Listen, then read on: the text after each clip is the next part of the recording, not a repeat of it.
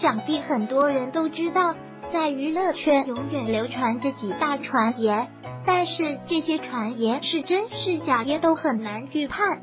但是如今的娱乐圈最大的传言就是王思聪年少不知家中有钱，马云对钱没有兴趣。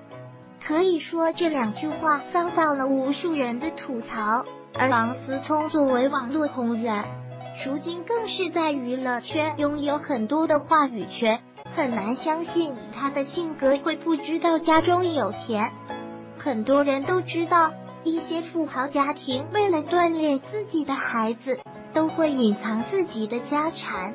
很多节目中，孩子度过了艰难时刻后，迎来了自己的人生。但是，也有很多人怒斥自己家长的做法。不过，王思聪到底知不知道家中有钱？其实，最近在网络上疯传的一组王思聪读书时的照片。就可以完美的解析当年王思聪的境遇。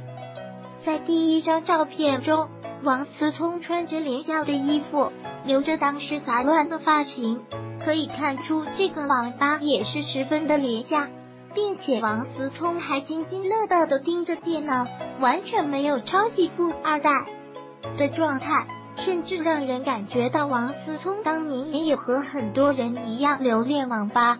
不过，在他的穿着和打游戏的认真度可以看出，当时的王思聪是买不起新衣服和电脑的。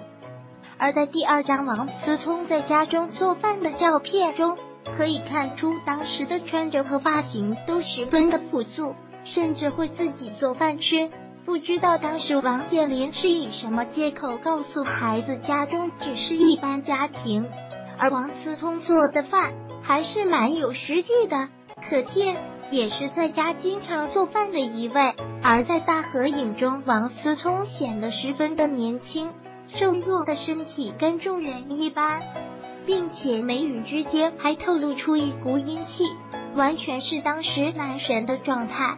甚至在第四张照片中可以看到，王思聪的皮肤还是不错的，坐姿和虽然和现在没什么两样。